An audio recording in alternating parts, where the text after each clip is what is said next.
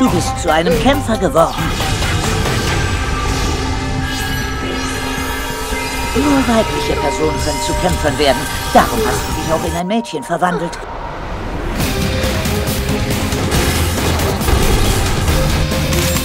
Hey, du kleine Kanalratte.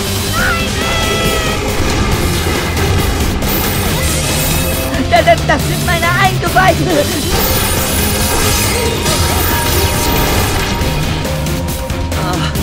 Schön, dass du wieder da bist.